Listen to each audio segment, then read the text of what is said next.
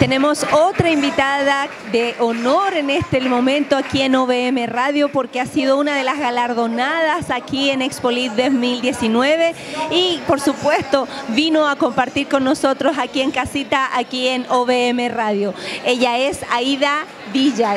Bienvenida Aida. Gracias, feliz de verdad de estar aquí. Dale gracias a Dios por darme la oportunidad de estar nuevamente en Espolí y contarle a todos mis hermanos, toda esta gente maravillosa, de todas estas cosas hermosas que Dios está haciendo en mi vida. Claro que sí, que esta es la oportunidad de poder venir a comentar con los hermanos todo, y con todos. Nos vemos todos con juntos, todos ¿verdad? los pastores, con todos los salmistas. Es una bendición estar aquí en Espolí.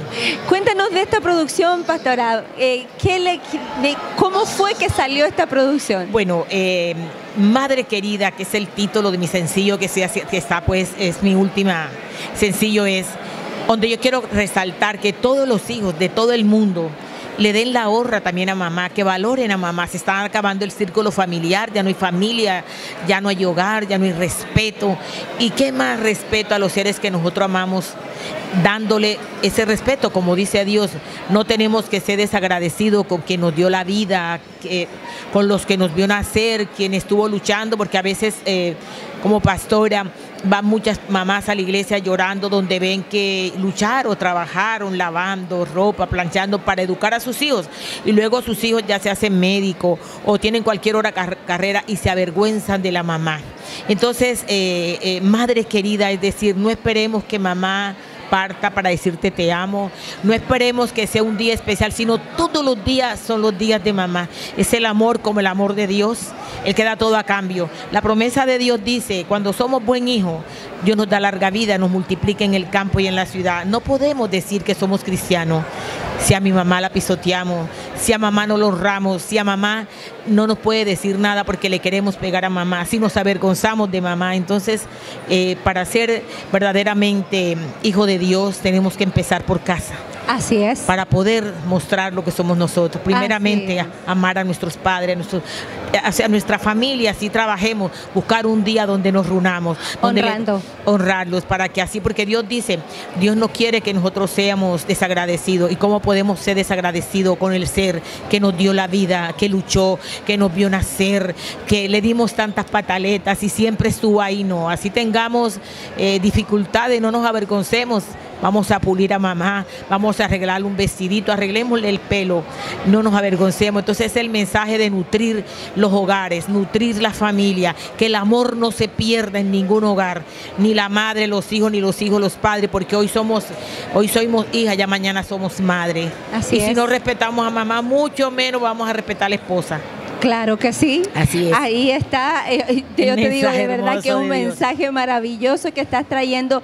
eh, una exhortación, yo más diría también, porque yo te digo, muchos de nosotros estamos viviendo nuestra la cristiandad como tal, y, pero tenemos que ir a dar, eh, vamos a tener que comparecer delante del Señor y Él nos va a pedir cuentas a cada uno de lo que Así es. Él nos entregó. Y creo que como hijos de Dios, teniendo un Cristo vivo dentro que nos ha dicho que honremos a nuestros padres, creo que tenemos esa responsabilidad y por supuesto creo que amar nunca será algo que, que nos podamos decir eh, que me arrepiento de haberlo hecho. Así es.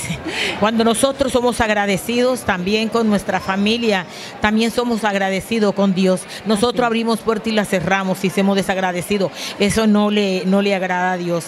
De verdad que este mensaje eh, sé que ha nutrido tantas almas, tanta familia, tantos hogares, que de verdad tengo un secretico para contarte. Eh, voy a ser galardonada con un premio que es el premio más importante a nivel cristiano que se llama Galardón Internacional.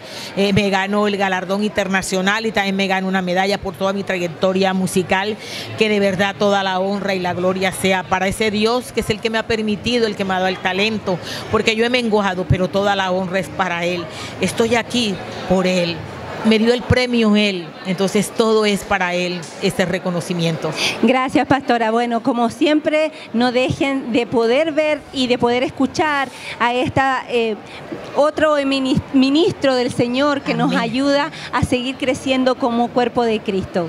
Muchas gracias Amén, a todos gracias. y los esperamos a que puedan seguir viéndonos a- en OVM Radio y esta es tu casa también, pastora. Ay, gracias. Yo creo que sí, mis redes sociales. Sí. Mi música está en todas las plataformas digitales y todas las redes sociales. Sociales como Aidaluz Villa, mi página www.aidaluzvilla.com, también en mi canal de YouTube para presentaciones y prédica, el 321 6864. Es mi número, 321-6864, para que todas las personas se conecten conmigo.